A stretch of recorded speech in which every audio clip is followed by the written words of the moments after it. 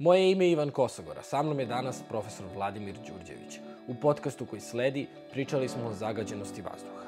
Pričali smo o tome zašto je ovaj višedecenijski problem u našoj zemlji guran po tepih i zašto se nismo bavili time ranije. Takođe pričali smo i objasnili šta je to tačno što mi dišemo. Šta su PM čestice, koji su to gasovi, kakav je to vazduh. Zatim smo razgovarali o tome koji su to uzroci, oni veliki, oni mali i kako možemo da ih rešimo. Spomenuli smo i aparate za prečišćavanje vazduha kao i neke druge mere koje možemo da preduzmemo kako bismo se zaštitili u ovom trenutku. Iako kasnimo sa ovim rešenjem nekih 20 godina u odnosu na zemlje koje su uspele da reše ovaj problem, rešenje postoji. I to je ono što je najvažnije da znamo. Ali sa druge strane, nije bitno samo da znamo ovu informaciju, bitno je i da nešto preduzmemo, nešto konkretno. Tako da je ovaj podcast zapravo poziv da se promenimo da, kao što ćete čuti u podcastu koji sledi, sa 50 godina ljudi koji budu slušali ovo, verovatno će pomisliti kako je moguće da su napravili ovaj kompromis, kako je moguće da su pristajali na ovaj vazduh. Da bismo došli do tih zaključaka, danas moramo da se promenimo. Ovo je nešto što se tiče svih nas, ovo je nešto što će direktno uticati ne samo na naše živote, već i na živote naše dece i na živote njihove dece. Zato mi danas treba da preuzemo odgovornost i zato danas treba da se promenimo. Ako ste prvi put na ovom YouTube kanalu, želim da vas pozovem da se prijavite, odnosno pretplatite, ili ako nas slušate na bilo kojoj drugoj podcast aplikaciji, zapratite nas, to je jedan od najboljih načina da podržite ovaj podcast. Drugi najbolji način jesu PayPal, jednokratne donacije i Patreon, svi linkovi su u opisu uživajte u podcastu koji sledi i da, ako smatrate da neko treba da čuje ovaj podcast, molim vas pošaljite, podelite sa svojim prijateljima, porodicom, podelite sa ostalim ljudima, jako je važno da pričamo o svemu ovome. Uživajte u podcastu koji sledi.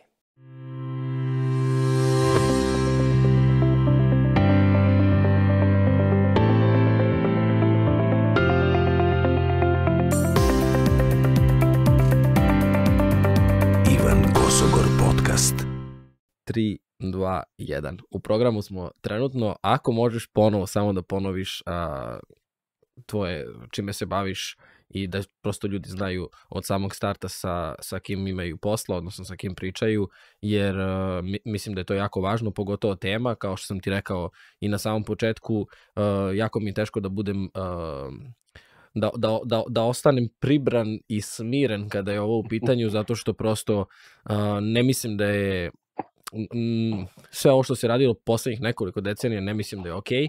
i ovaj, pored ono kao što sam malo pre rekao, pre dve sekunde, ali prosto želim da ponovim, dosta smo više tražili krivce, upirali prstima i svađali se, nije bitno ko je kriv, znaš, kada, kada toliko dece u, u mom gradu ima problema sa astmom, kada ja pričam kroz nos kao da je to sasvim normalno, uh, glavobolje i ostale stvari koje su definitivno uzrok, a pričat ćemo o svemu tome, to nije normalno i više nije ni bitno ko je kriv, bitno je da se reši situacija, tako da puno ti hvala što, što pričamo i što ukazujemo na, na sve ovo. Hvala tebi na pozivu. Pa ništa, evo da se predstavim, ja sam Vladimir Đurđević, radim na fizičkom fakultetu kao vanredni profesor na grupi za meteorologiju. Meteorologija se studira na fizici, jako većina ljudi povezuje meteorologiju sa prognozom na televiziji. Meteorologija je u stvari neka vrsta primenjene fizike, ima puno fizike i matematike, tako da na fizici postoje četiri grupe, ima tri grupe koji su smerovi fizike, da kažem čiste, ima ta četvrta grupa meteorologija, tako da od prve godine se studira meteorologija, ima puno fizike i matematike i danas je meteorologija jedna vrlo moderna i onako egzaktna nauka, evo kao kuriozitet ove godine je Nobelova nagrada za fiziku dodeljene trojici istraživača, dvojica su se bavila klimom i dobili su nagradu za otkriće u oblasti klime, ali jedan od njih je meteorolog. Suki Manabe, jedan od dobitnika, je baš meteorolog, znači on je studirao meteorologiju, doktorirao je iz oblasti koje je meteorologija, ali je posle počeo da se bavi klimom, tako i ja se danas u principu prvenstveno bavim klimatskim promenama kao problemom i fizičkim aspektima tog problema, ali zagađenje vazduha i kvalitet vazduha su vrlo bliski e, ovoj temi klimatskih promena u smislu, da kažem, onoga što iza, izaziva problem i kako treba da rešimo taj problem. Inače, zagađenje vazduha je super kompleksna tema i mora uvek da se e, razmatra, da kažem, iz tog e, više disciplinarnih uglova. Ima, s jedne strane, moramo da imamo inženjere koji se najčešće bave emisijama zagađujućih materija, znači znaju razne industrijske procese, kako se odvijaju, koje goriva se koriste, šta se emituje iz toga i kako da zaustavimo neke od tih emisija. onda postoje hemičari, fizikohemičari koji se bave samom strukturom tog zagađenja, znači šta imamo u tim česticama, kakvi su to gasovi, kako ti gasovi interaguju sa okolinom, onda postoje meteorolozi koji se najčešće u, u, u smislu zagađenja bave time kako se to zagađenje transportuje i kako ono interaguje sa meteorologijom na neki način, kako se prave te koncentracije na kraju koje merimo. Imamo tu i doktore koji se bave kako to zagađenje utiče na zdravlje ljudi i procenjuju koliko zagađenje može da se negativno odrazi na razne aspekte našeg zdravlja, tako da je da je ovaj zagađenje vazduha izuzetno složena oblast i zbog te složenosti u stvari ne treba da nas čudi što je da kažem debata burna i što nije nije onako da kažem pravolinijska priča jer jedan deo e, te e, e, žestine u debati proizilazi iz toga da zaista čovjek treba iz pun uglova da sagleda taj problem da bi tačno razumeo o čemu se radi da je stvar prosta i pravolinijska, vrlo lako bismo i rešili problem i svim ljudima bi bilo odmah u početku jasno da li je vazduh zagađen ili nije, ali je problem prilično složen i kompleksan, slično kao i klimatske promene, to je isto vrlo složen problem i zbog te složenosti je nekad teško komunicirati i treba da se priča sa više različitih ljudi, znači treba razgovarati i sa doktorima, i sa hemičarima, sa fizikohemičarima, sa inženjerima, sa meteorolozima i klimatolozima, da bismo mi sagledali u stvari sve elemente toga i svu tu složenost, jer samo tako ćemo umeti da rešimo stvar. Kod nas je, da kažem, stanje problematično, više nego problematično, stanje je vrlo ozbiljno, ali trebamo da budemo optimisti zato što je puno zemalja na svetu rešilo da kažem, po znacima navoda svoj kvalitet vazduha, odnosno dramatično su popravili kvalitet vazduha u odnosu na pre 30 godina što znači da taj problem je rešiv ako želimo da ga rešimo. Znači ne radi se o problemu koji je nerešiv i ne smo da pristanemo na to da ćemo zaovek živeti u lošem vazduhu zato što je to nešto što je nerešivo ili što je za nas nedostižno finansijski, ne znam kako. Znači taj problem je rešiv, pitanje je da li to želimo, ne želimo i da li smo iskreni u tome i kad kažem iskreni mislim na celokupno društvo, društvo u našoj zemlji, od onih koji rukovode i koji su na neki način ti koji smo mi dali mandate da se bave tim nekim javnim opštim stvarima do svih nas pojedinaca i mi pojedinci treba da se uključimo na neki način u rešavanju tog problema i kažemo opet ako se okrenemo unazad vidjet ćemo da je puno zemalja dramatično popravilo kvalitet vazduha. Evo ti si, na primjer, živiš sad u Americi, u Njujorku je kvalitet vazduha u odnosu na početak 90-ih dramatično, dramatično popravljen po pitanju nekih polutanata, recimo, pošto prošle godine izašao jedan izveštaj o kvalitetu vazduha u Njujorku, po pitanju nekih polutanata koncentracije u Njujorku su danas ekvivalentne koncentracijama tih polutanata na obližnim, obližnim planinama. Znači, po znacima navoda Njujork po pitanju nekih elemenata ima planinski vazduh. I njihove mere za dalje poboljšanje, pošto i dalje nisu zadovoljni, se trenutno fokusiraju na grilove. Znači sve ovo ostalo o čemu mi dalje pričamo, fabrike, grejanje, saobraćaj, otpad, to je sve u principu rešeno do nivoa da je vrlo, vrlo kontrolisano. Sad se oni bave nekim tim sitnim, finim podešavanjima na nivou kvartova, znači da ako negde postoji restoran koji često se u restoranima pravi roštelj ili šta već, da se i te uh, peći koje služe za, za pečenje toga i za uh, pripremanje hrane i goriva koje se koriste da budu takvi da ne emituju previše, previše zagađujućih materija u atmosferu, zato što kažem, sve ovo drugo su rešili, sad su zaista se bave vrlo, vrlo finim, finim stvarima i detaljima, zato što hoće da dovedu tu celu stvar na nivo perfekcije maltene, jer jednostavno zašto živeti u, u zagađenom vazduhu ako možda se živi. I kao što vidimo isto zbog svega toga, New York ne postaje siromašniji grad, mislim da postaje, postaje bogatiji da ljudi tamo žive sve kvalitetne i kvalitetne, tako da rad na životnoj sredini ne znači osim romašenja niti gubitak nekog novca i niti da udarac na standard građana u stvari je suprotna stvar. To isto opet vidimo iz puno, u puno zemalja. Tamo gde se situacija popravljala, ovaj, društveni proizvod je rastao i kvalitet života je rastao. Te dve stvari se dekapluju u jednom trenutku. Znači, vi nastavite da popravljate kvalitet života, a s druge strane imate sve bolju i bolju životnu sredinu. Iako opet u nekim vrlo nerazvijenim zemljama obično te dve stvari idu jedna sa drugom zaista. Kako ide ekonomski razvoj, onda se pravi veći pritisak na životnu sredinu. Ali u jednom trenutku te stvari mogu da se dekapluju i mi smo u trenutku kad treba da dekaplujemo to. I kažemo opet treba da budemo svesni da je to moguće rešiti, to je najvažnija poruka treba da budemo svesni da je to moguće rešiti, da to nije nikakav neverovatan zadatak i nešto neverovatno teško pitanje odluke da li želimo ili ne želimo kao društvo. I da bi se ta odluka donela treba puno nas da želi, to je glavna poruka. Znači ako ljudi budu to zahtevali kao jednu od stvari koja im je vrlo važna, onda i oni koji imaju puno ključeva u rukama da reše taj problem će lakše upotrebiti te ključeve. problem je rešiv. To je ono što, što, što mi se dopada. Ja sam glavno. po prirodi optimističan, ali moram ti priznati iskreno da uh, kažem ti, jako sam živeo ceo svoj život 5 minuta od termoelektrane, uh, svako jutro kad se probudim vidim, vidim kroz svoj prozor kako izlazi taj dim, uh, neretko vidim različite oblike dima, različite boje dima. Sećam se kada sam bio klinac da kada padne prvi sneg, sutradan taj sneg je crn, da sećam se koliko ima prašine, koliko ima drugih različitih problema i prosto nikada čak nisam imao ni ideju kako bih ja mogao, jer svaki put kada bi se ošti povela neka polemika, uvek se dođe do toga, a, ali onda bi hiljadu ljudi izgubilo posao, a onda znaš da su ti ljudi, imaju svoje porodice koje hrane i tako dalje. I kao što si sada rekao, uh, stvara se ta neka kontradiktornost gde kao ne možemo zbog hiljadu ljudi ili hiljadu Zapušen. poslova, ne možemo, a opet sa druge strane imamo te primere koje si sad ti naveo da kako se poboljšava životna sredina, raste i standard i do, otvaraju se nove neke pozicije, uh, stvaraju se neke, neke nove mogućnosti. I imamo primer New Yorka koji je mnogo daleko od nas, čak i ako ima direktan let. Sa druge strane imamo i primer u, u, u Evropi Evropi, gde su se mnoge države uh, okrenule tom nekom zdravom načinu razmišljanja koji očigledno nama fali u, u, u uh mhm. -huh. Srbiji, o kojoj konkretno pričamo. Pa kako sad ovaj više decenijski problem koji je uh, koji je gurnut po tepih, o kome se nije pričalo, o kome je bilo na neki način čak i zabranjeno pričati da ne uvrediš te neke ljude koji rade tu i koji mhm. stavljaju uh -huh. hleb na sto upravo radeći to, tamo. Kako rešiti taj Uh, kako rešiti taj problem? Mislim, da.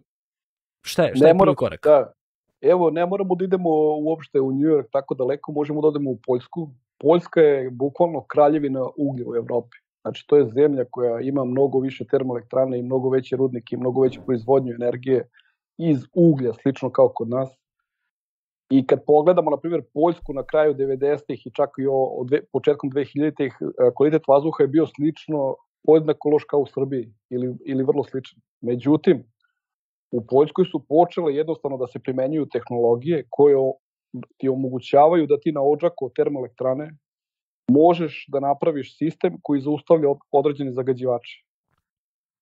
Razlog, šta, šta ćeš ti tu da kažem, gde, e, e, gde je sad tu problem da to nema svaka, e, svako postrojenje takva postrojenja koje zaustavljaju određene gasove kao što su sumporovi oksidi, azotni oksidi i PM čestice, oni troše jedan deo energije koji se, koji se proizvodi na termoelektrani. I to je jedan od razloga oklevanja. Zašto ja sad izgubim određeni procenat energije koju proizvodim, da bi samo zaštitio vazduh. Možda mi vazduh nije, to, nije toliko važan. Tako da su ljudi, u, da kažem, u tom sektoru če, često to može da bude stvar oklevanja. Druga stvar je, o, treba da se napravi neka vrsta tehnološkog iskoraka. Znači, ta postrojenja nisu bila baš standarda, standarda pre 30 godina, ali su počela u početku uh, u Americi da se razvijaju, ali danas su postala neka vrsta standarda. I verovatno su možda ljudi čuli za trgovinu uh, gasova sa efektom staklene bašte, kao što je ugljen dioksid. Sad se o tome puno priča kako će zemlje da trguju tim gasovima i kako će stavljaju određene granice. U stvari, taj sistem za trgovinu gasova je izmišljen u Americi za sumporove okside na termoelektranama. Znači, to je bio primer gde su ter, je uvedena politika da neko ko je termoelektrana da kaže e, da, da, da mu se dopusti ili da emituje više nego što je dozvoljeno, pa da plati penal, ili da potroši određenu sumu novca da ugradi filter i da onda više ne mora da plaća penale. Tako da u početku isto bilo i tamo dvumljenja ko će da ugradi filter, ko, ko će plaća penale, ali u jednom trutku se shvatilo da je svima e, ekonomski isplativi da ugrade jednostavno filter i da više nikad ne plaćaju penale, tako to je jedan trošak. Ali kažem, to zahteva neku vrstu odlučnosti na tom samom postrojenju, znači ljudi treba da prihvate da će jedan deo energije više neće moći da proizvedu, nego će morati da potroše da bi čuvali vazduh i treba da se napravi taj tehnološki iskorak, da vi uvedete tehnologiju koja je odgovarajuća. Kod nas na jednoj termoelektrani u Stolcu je ugrađen taj filter još pre nekoliko godina, ali i dalje ne radi i nije jasno nikome zašto ne radi, nije valjda dobio neku dozvolu upotrebu ili šta već. Što opet znači da mi možda i dalje nemamo tu vrstu te, uh, znanja tehnološkog i spremnosti da takve, uh, da takve tehnologije implementiramo ali kažem, te tehnologije postoje, jednostavno korišćenje teh tehnologija drastično će da smanjite zagađujuće emisije, emisije zagađujućih gasova iz termoelektrana, iz velikih industrijskih postrojenja i iz te razne intenzivne industrije. Znači, te neke od tih emisija zaista mogu, kada pričamo recimo baš o sumporovim oksidima, sistemi za odsumporavanje koji bi mogli da se ugrade kod nas na termoelektrane bi u stvari oborili emisije sumpora za 90%. Za 90 procenata? 90 procenata. I to su u Evropi, ako pogledate sad u Evropi kako su se menjale emisije sumporovih oksida, vidjet ćete da tamo od 2005. 6. godine do danas su njihove e, emisije sumporovih oksida svuda oborene za 90 procenata. Znači oni emituju 10%, zbog toga, e, zato ne čudi ona činjenica, možda si to čuo, kada kažu da ne znam koliko, e, nekoliko termoelektrana na Zapadnom Balkanu emituje više nego 250 elektrana u Evropi. To je zbog toga što je taj odnos u zaustavljanju tih gasova u Evropi 90% gasova se zaustavi, a kod nas se ne zaustavi 1%. I zbog toga postoji ta ogromna razlika. I zato je moguće da naše elektrane emituju toliko u odnosu na, na no, toliko kao, kao sve evropske, evropske termoelektrane. Tako da kažem, to zahteva jednu vrstu tehnološkog iskoraka. Ali Poljska, kažem opet, koja je isto u prošlosti se ponašala, da kažem, kao mi, i ona je počela da uvodi te sisteme poslednjih godina. I šta se desilo, na primjer, sad ovako opet primer neki onako ilustrativni. Postoji jedan broj koji je neka opšta mera uh, izloženosti ljudi zagađenom vazduhu koje se zove uh, taj indeks se zove izloženost urbanog zagađenja PM2.5 česticama.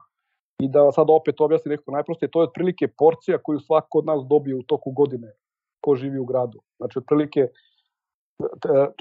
koliko ti je, koliko ti je velik tanjir sa čorbom koju ti treba da pojedeš te godine, a ta čorba je zagađenje. Taj broj u Srbiji je 29 mikrograma po metru kubnom. To otprilike svako od nas u proseku, da kažem, to je porcija koja njemu sleduje. To se, taj broj se inače pravi u odnosu na to koliko je prosečno zagađenje i koliko je gustina naseljenosti na nekom području. Taj broj u Poljskoj je sad 20, Jako je pre nekoliko, pre deseta godina bio je sličan ovom broju u Srbiji, ali implementacijom tih mera oni su uspeli da spuste za 10, znači za jednu trećinu su uspeli da spuste. Tako da, ako je, a i Poljska ima trenutno najgori vazduh u zemljama Europske unije. Tako u Poljskoj je taj broj 20, a kod nas je 29. Znači, kod nas je vazduh za 50% lošiji nego u najlošijoj zemlji Europske unije, koja ponovo podlačim, Poljska je za nas e, kraljevina uglja, imperija uglja količine koje oni koriste i broja termoelektrana koje oni imaju, to je neuporedivo s nama. Znači, to je mnogo, mnogo, mnogo puta više. Tako da mi ne možemo da se izborimo s naših 3-4 lokacije, ako njih ima takvih 20 lokacija, nema 3-4. Tako da opet kažem, to cela ta priča da mi ne spremo da se, da kažem, da čuvamo radna mesta, da je to nama neophodna struja, da to sve stoji, znači nama jeste neophodna struja, ti ljudi zaista ne mogu, kako kažem, da se da, da se ostave bez posla, ne znam ja kako kažem. Ti gradovi koji su rudarski gradovi, koji su blizu termoelektrana, njihove privrede i aktivnosti su puno vezane za ta preduzeća i sve to. Ti gradovi ne treba da, u, da, da nestanu zato što mi hoćemo da, da dišemo čist vazduh. Jedino što treba je da se implementiraju, kažem, ponovo tehnologije. I što je najgore, u našoj zemlji postoji zakon koji je usvojen, to je određeni pravni akt, koji se zove Nacionalni plan o smanjenju emisija, koji treba da nas stavi na taj isti put na kome je Poljska bila zadnjih 10 godina i on je trebao već pre neku godinu da počne da se implementira, ali pošto nisu uspeli da ga implementiraju, a to implementiranje tog zakona znači u stvari postavljanje odgovarajućih tih filtera na, na odgovarajućim postrojenjima, pošto nisu uspeli da počnu sa implementacijom na vreme, onda je napravljena dopuna tog akta u kome je rečeno e, nismo uspeli tako da se početak tog postavlja se da bude fleksibilno, pa ćemo u jednom trenutku da počnemo. Tako da ono što je kod nas najveći problem trenutno je stalno to odlaganje, da se suočimo s time da jednostavno mora da se uloži neki novac da bi se ta postrojenja unapredila. I opet ljudi kad me pitaju pa je moguće da e, postaje stanje sve gore i gore, moguće. Zašto? Zato što opet sve te elektrane, industrijska postrojenja, to je, opet kad spustimo na, neku, na neki prost nivo, to je mašina ko auto i vi da imate najbolji auto na svetu i da ga stalno nosite na servis i da sve menjate, vremenom će da se pojavljuju neke da kažem, greškice, sitni kvarovi i vama će u jednom trenutku iz tog auta sigurno da izlazi malo više dima nego što je izlazilo pre 20 godina. A znamo kod nas koliko se u stvari malo ulaže u sve to i da nije napravljeno ni, jedna novo, ni jedno novo postrojenje i tako dalje. Tako da u principu taj neodgovorni, nemarni odnos prema tome da mi to držimo u top formi je u stvari dovoljno do toga, kažemo opet, da mi imamo najgori vazduh, uh, najmanje kvalitetan vazduh u Evropi. Dugoročno gledano, zbog klimatskih promjena, ali zbog zagađenja vazduha, termoelektrane zaista treba da se gasi u narednih nekoliko decenija. I taj proces zove energetska tranzicija i on je između ostalog vrlo komplikovan i zbog toga što si ti spominjao, zbog ljudi koji rade na tim postrojenjima i koji rade u rudnicima, ali isto u zemljama u kojima je to počelo, onaj, onaj ko dobro planira osmisliće i program, da kažem, nekog pre uh, kvalifikacije svih tih ljudi i svih tih privreda. U Americi je, na primjer, trenutno, isto uh, nije puno poznato, ali u Americi trenutno više ljudi radi u sektoru obnovljivih izvora energije nego što radi u sektoru fosilnih goriva, iskopavanje uglja, korištenje nafte i tako dalje. Znači, sektor obnovljivih izvora energije je sektor koji zapošljava više ljudi, tako da svi ti ljudi koji sad rade na ovim poslovima koji se tiču jednostavno mogu neki da se prekvalifikuju, neki koji su stariji možda i nemaju sad blizu su penzije, za njih treba da se naprave neki programi, ali treba da postoji plan. Znači, mi, a mi smo loši u planiranju, nažalost. Treba da postoji plan kog ćemo se pridržavati i plan uvek mora da bude takav, ne kao ovi naši planovi sad za kolit vazduha koji je donet u Beogradu, imate plan, a nemate broj na osnovu koga ćete da merite da li taj plan ispunjavate ili ne ispunjavate.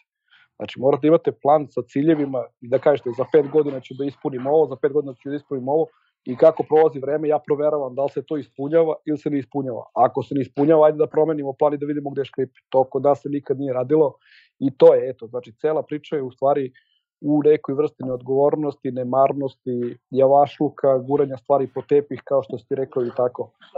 I ni u jednom ni u jednoj situaciji gde čovjek hoće da popravlja kvalitet vazduha, ne znači da će on neke ljude da ostavlja bez posla, da će da ih ostavlja bez plate, da će da ih ostavlja na cedilu, da će da uništava ekonomiju tog regiona, čak šta više, suprotno. Znači vi sve to možete o tome da vodite računa, a u stvari opet da ovaj da, da, da, da svi mi bolje živimo i ti ljudi koji tamo rade i, svi mi ostali. I, I za kraj samo još jedna stvar da, da ne zaboravim posto razgovoru, po, često je ta, kao pa možda je to skupo, jedno takvo postrojenje za odsumporavanje košta otprilike kao što će sad koštati ovaj nacionalni stadion o kome se priča.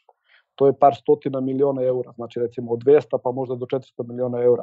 Ali to isto nisu pare koje su nedostižne za nas. Znači, evo sad imali smo problem sa tentom, pre neki dan i sad se uvozi puno struje i kaže se da ćemo sad za ono par dana što, što se, se pokvario tamo jedno, jedno postrojenje, da ćemo da ovaj, morati da uvezemo struju, struje u nivou od 500-600 miliona eura.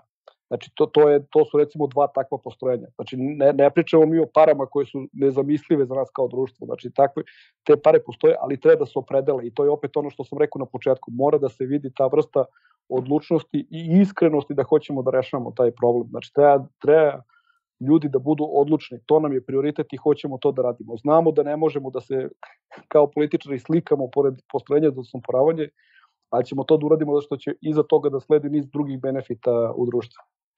Iskreno, kao što si rekao da mora da postoji iskrena želja, ja iskreno vidim da se o tome ništa ne radi. O, ovaj, i, ti, I ti filteri, to su kao bajke u Obrenovcu, uh, gde yes. se jedne godine... Ne, da, ne, da, ne budemo, da ne budemo nepošteni, kod nas trenutno na termoelektranama postoje filteri za uklanjanje ovih PM čestica i oni smanjuju dosta nivo PM čestica, ali, ali, ovaj, ali ne postoje filteri za uklanjanje gasova. I sad ću odmah tu da ispričam jednu priču koje, šta je trik sa gasovima, šta je trik sa česticama. Znači, mi na stanici, kad merimo PM čestice, mi merimo ukupnu količinu PM čestica. Za početak, da uprostimo, PM čestice su mikronska prašina koja je toliko mala da može da lebdi u vazduhu. Znači, to, je, to imate u glavi kao PM čestice. Iz ođaka ono što izlazi jesu PM čestice, ta mikronska prašina koja lebdi u vazduhu dugo i izlaze gasovi te čestice koje iz ođaka izađu kao čestice, one se zovu primarne PM čestice, zato što su emitovane kao čestice. Međutim, kad se emituju gasovi iz ođaka, posle nekog vremena kreće partikulacija gasova. Slično kao što se vodena para kondenzuje u kapi, tako i ti gasovi počnu da se skupljaju na nekim opet elementima u atmosferi, ako je velika vlaga u atmosferi, onda taj proces bude još bolji. Tako da se od gasova formiraju dodatne PM čestice. I te dodatne PM čestice se nazivaju sekundarnim PM česticama, zato što su nastale po emitovanju gasova. Tako da ono što mi merimo na stanici, mi merimo ukupan zbir i primarnih i sekundarnih. Instrument ne može na licu mesta da razvoji, razvoji šta je primarno, šta je sekundarno. Tako da jedan deo dobar tih sekundarnih PM čestica, posebno kad su visoka zagađenja, su nastale iz ovih gasova koje su emitovale, recimo, koje emituju puno termoelektrane, sumprovi oksidi. Znači, vi emitujete puno sumprovih oksida, jedan deo tih sumporovih oksida će da se pretvori u PM čestice i vi ćete na kraju na stanici da merite te sumporove okside kao PM čestice, a ne kao sumporove okside. Tako da ako se obore tamo emisije sumporovih oksida, onda će na, na stanicama da padne i nivo PM čestica koje su u stvari najveći problem kod nas. I naše termoelektrane nemaju te filtere ni za sumporove okside, ni za azotne okside. Isti proces važi i za azotne okside kao za, za sumporove okside. E, samo sekund. Ja sam da ti Evo. kažem da mi se meša, da mi se meša zvuk. Da, da. Ovaj, ali nije problem. Podcast prašta, da znaš. Da, da, ovaj, da. rekao si malo pre PM čestice 2,5 i da li si ti sad spomenuo PM10 ili si samo rekao PM? Nisam, samo sam rekao PM okay. 2,5. Ok. E, ako, Koja je razlika? Šta se tu dešava? Da, uh -huh. Da, znači PM čestice su, rekao sam malo pre, to je mikronska prašina, znači ultra, ultra fina prašina i te čestice su toliko, toliko male da mogu da lebde u vazduhu, znači dugo im treba vremena, kad ih stavite u vazduh njima dugo, dugo treba vremena da padnu na površinu, da kažem. E, broj posle ovog PM označava diametar čestice, znači njen prečnik. Znači 10 znači da su čestice 10 mikrometara, a PM 2,5 da su 2,5 mikrometra. 2,5 mikrometra, sad se ja nešto... Prevedi, da, na, na srpski. Ali recimo, nekoliko desetih delova od ljudske vlasti, recimo, tako nešto. To, to, ti su dimenzija čestica. E, e, tako da kad se kaže koncentracija PM10 čestica, to su sve čestice u vazduhu čiji je diametar do 10 mikrometra. Znači u, u toj koncentraciji su i 2,5. A kad kažemo PM2,5, znači tu sve čestice do diametra od 2,5 mikrometra. E, što je čestica manja, a onda i u zavisnosti od njenog hemijskog sastava, znači šta je u toj, u toj česti može da bude svašta, mogu da budu neki teški metali, mogu da budu ti sumporovi oksidi, mogu da budu azotni oksidi i tako dalje, e, čestica je opasnija. Znači, što, što je bogatija hemijskim elementima, što bi, što bi neko rekao, što ima više ovog e, e, periodnog sistema u sebi, to je ona opasnija i što je manja, to je ona opasnija. I zašto su male opasne? Zato što kad se udahne mala čestica, ona može da prođe kroz iz ove alveole u plućima može da uđe u krvotok i kroz krvotok može bukvalno da bude odeta do bilo kog e, organa u našem telu. Tako da recimo u Južnoj Koreji su radili autopsije ljudi i pronašli su PM čestice zagađenja u mozgu koje su bile deponovane u mozgu te tako sitne čestice mogu da naruše, da prođu, da probiju čak i ove e, na ćelijskom nivou da nekako interaguju sa našim organizmom i dve stvari mogu da rade. Mogu prvo da remete te fiziološke procese zato što unosite neke hemikalije u svoj organizam, a s druge strane zato što su to su isto neki od njih sad ima isto su različiti oblici, oblici, ali neki od njih bukvalno izgledaju kao mik, mikrožileti. Znači onako vrlo deluju agresivno. I u tom smislu one mogu da stvaraju te upalne procese Zato ja opet kažem neki put ono po znacima navoda da, da, da brzo shvatimo čemu se radi. Kao da progutate neku šmirglu koja vam je u svim organima i koja će da vas šmirgla narednih puno godina. Znači neki od tih čestica ne postoji način da neće se one rastopiti u organizmu. Ako su neki teški metali, postoje dobra šansa da će zaovek da imate deponovano to u svom organizmu. Što više toga imate, sve veći pricak na organe i onda polako počinju stvari vremenom da otkazuju. Zato kod zagađenja, tog aerozagađenja, ovog ambijentalnog, nikad se ne radi o tim nekim, da kažem, mada imamo sad primjera u Srbiji da su bile te direktne negativne posljedice po zdravlje, da, da je ljudima pozbilo, da su povraćali, da, da su imali vrtogolicu i tako dalje, ali uvek pričamo o tim odloženim efektima, zato što vremenom vi kada akumulirate sve to u sebi, vremenom se pojako, polako pojavljuju posljedice i ono što je krajnji ishod jeste da ljudi koji žive u visokom aerozagađenju, kao što je kod nas, žive kraće nego ljudi koji ne žive u tako visokom aerozagađenju. Razlika u prosječnoj dužini života kod nas i u zapadnoj Evropi je negde između 5 do 10 godina. Polovina od te razlike je verovatno posledica aerozagađenja. I veliki broj toga kod deca što se javljaju znači, razni asmatični bronhitis i alergije, razno ta, ne znam, sada da kažem, eto nisam stručnjak baš za medicinu, ali razni, ti, razne te komplikacije vezano za respiratorne organe kod dece, kod nas se pojavljuju upravo zato što živimo u ne, nečistom vazduhu, živimo u zagađenom vazduhu. Znači to je jednostavno vremenom se taj negativan efekt akumulira i kažem na kraju vi živite kraće. Kad je čovek mladi u punoj snazi, onda možda to kad mu neko kaže, e, zbog aerozagađenja ćeš da živiš kraće par godina, možda mu, da kažem, i nije ga toliko briga, interesu, ima mnogo važnije stvari u tom životu nego da razmišlja o kraju svog života ali mislim ko, na kraju čovjek, kako kaže, kako počne stari, onda svaka godina ti je važna. I to što mi prihvatamo da zbog aerozagađenja živimo par godina kraće, to je po meni nekako neozbiljno, neodgovorno i skandalozno. Ono. Mislim, jednostavno, mi, se, mi to što umesto da da kupimo te filtere, mi na kraju to platimo svojim zdravljem i svojim životom. To je ta priča. Eto. Znači, umjesto ti da potrošiš neki novac, da mi opet kao društvo, kao zajednica, da se odreknemo nekih gluposti i trošnja para na gluposti i da uložimo novac u ovo, na kraju ćemo zbog toga da imamo prvo bit ćemo zdravi, manje ćemo se razboljevati i na kraju ćemo malo duže ne malo, ne, par godina, kažem, nije to malo uopšte. Na kraju ćemo duže živeti nego, nego što živimo do sada. Kad, kad opet te, te, te pare koje su nam potrebne za to, da je to i milijardu nečega, milijardu evra, milijardu dolara, kad se to rasporedi na jedan životni vek i kad se rasporedi na nekako na sve ljude, ne, ne je moguće da mi nemamo tih para u našim džepovima. Nisu to pare koje su, kažem opet, u pitanju je stvar odluke. Ljudi su sposobni da prave čuda, mislim, čak i na, na tim kad, kad su u pitanju male zemlje kao naša, tako, svašta smo mi napravili u prošlosti, čime smo, da kažem, čak i impresionirali impresionirali svet. Nismo mi nesposobni to da uradimo. Samo je pitanje da li hoćemo da uradimo, nećemo da uradimo i da li hoćemo da donesemo tu odluku. Po meni i dalje, kažem, nedonošenje odluke je posledica toga što jednostavno, kako kažem, neki ti sitni lenjost, sitni prioriteti, javašluk, nemar, neodgovornost, ne, neodgovornost, nedovoljno želje da se ljudi time bave. Ima još jedna važna stvar. Ljudi isto kažu kako je sad to zagađenja, a kako je pre bilo, kao pa i pre bilo zagađenje. To jeste isto tačno. Znači, mi smo 80. godina živeli u vazduhu koji je bio uh, uh, uh, verovatno slično uh, loše kvaliteta kao danas. Ali to ne treba da nam bude izgovor. Zašto se sad pojavila ta tema?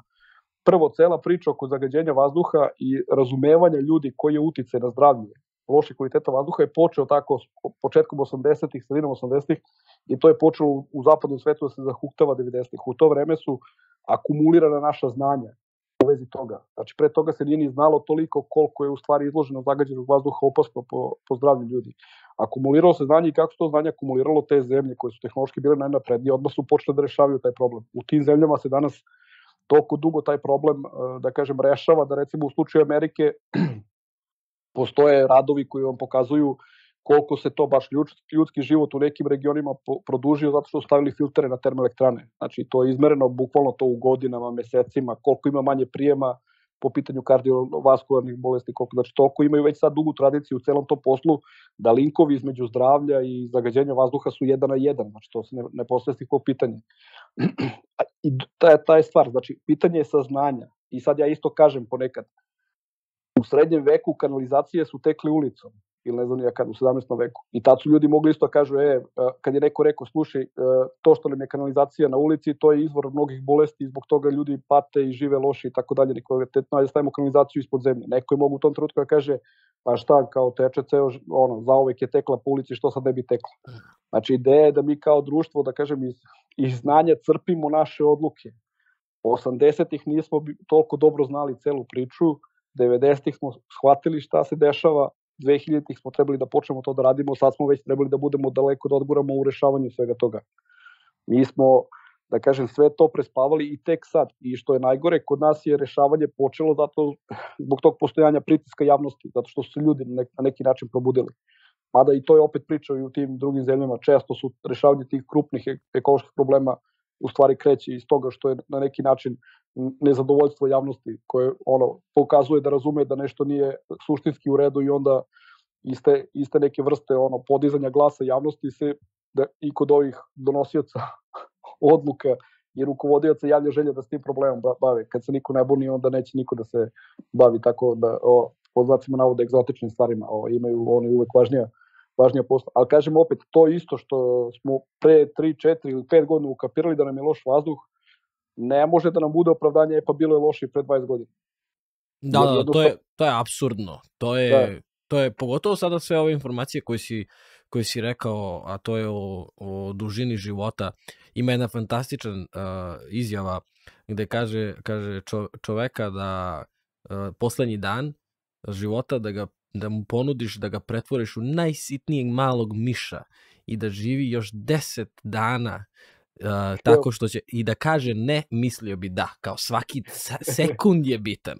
Da, I prosto mi kao, ja, evo sad sam se ceo naježio, ali kao ja, nažalost, uh, imam, uh, poznavao sam neke ljude koji su kao mladi preminuli i od leukemije i od kancera iz mog grada.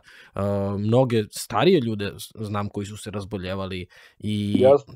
uh, prosto ne, ne može da se ne napravi povezanost. A opet sa druge Jasne. strane, pričali smo mnogo o tome o novcu, o poslovima i tako dalje i uh, i taj i taj strah od uh, gubitka posla i da ne, da će se zatvoriti radna mesta i tako dalje je neosnovan jer ka, to je isto kao laički kada bismo pričali o tome da treba se ištampa više novca da bi država bila bogatija što apsolutno dovodi da, da. u onu drugu krajnost isto tako ako sad pogledamo poslednjih 30 godina ugasilo su se mnoga radna mesta, ali zato su se otvorile 10 puta više novih mesta. Ti danas imaš ja. Lupiću sada ljude koji na Instagramu vode profile i to je posao.